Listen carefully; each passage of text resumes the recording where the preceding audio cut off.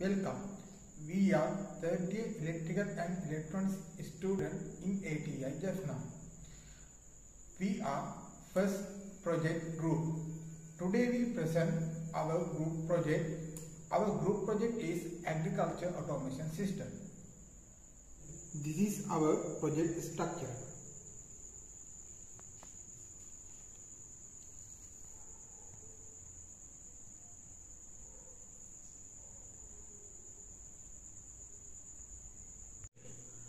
I will explain how got the power supply for this project.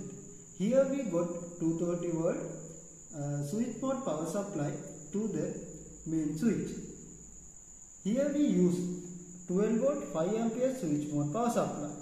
Then we use LM2596 buck converter for convert 12 volt into 5 volt.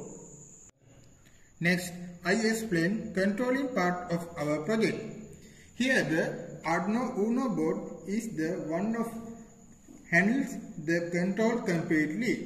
Here the sensors provide data to the Arduino board. Here are the sensors we used raindrop sensor, DHT11 humidity sensor, soil moisture sensor and water level sensor. Raindrop sensor can be used to monitor a variety of weather conditions. The DHT11 sensor is device that detect and measure hotness, coldness and convert into an electrical signal. Soil moisture sensor measure or estimate the amount of water in the soil. Next, water level sensor. Water level sensor is device that measure the liquid level in the fixed maintains that is too high or too low. Here we use two submersible small DC water pump. We use two channel 5 volt DC relay module to control that two motor pumps. Here the communication module used was a GSM module. It's called SIM800L. Here we use this module to update the ThingSpeak server. We use two WD12864 display module. This is used to represent the data to the user. We use to T-position switch for auto manual operation. First, I need power on. It takes about 1 minute to process data. The data related to the sensors on display is then displayed. In this case, considering the water level in the water tank, the water is given to the motor through relay whether to add water at or not.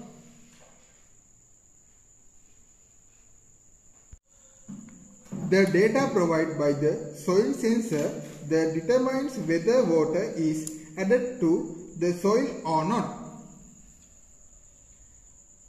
Considering this data to two motors are activated through the two relays. Here the raindrop sensor gives the amount of rainfall as an analog signal to the Arduino board.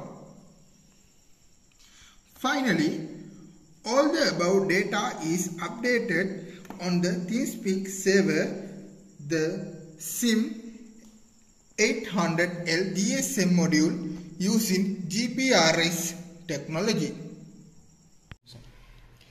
Let's see the project. First, main supply switch on. Then update the display. Next, motor control automatic. Next, update the display. Please wait 1 minute.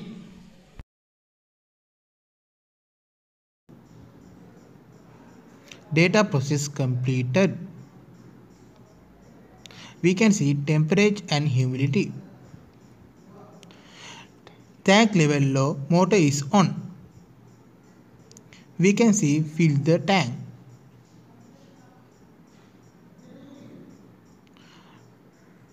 Now soil moisture sensor low, motor is on. Water in the field.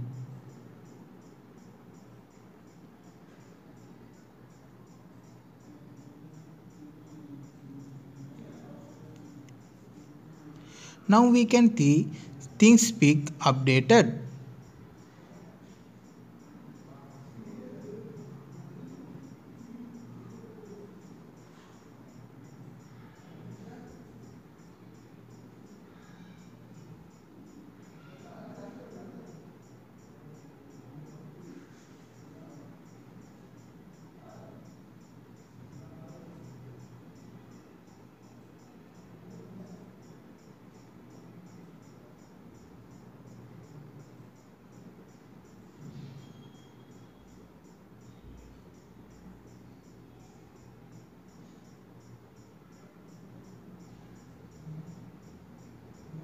Data process completed.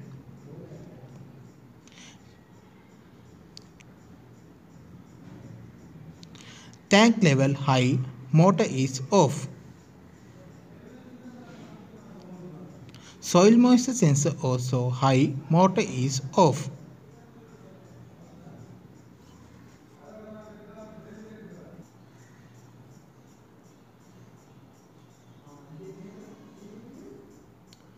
Now also we can see things ThingSpeak updated.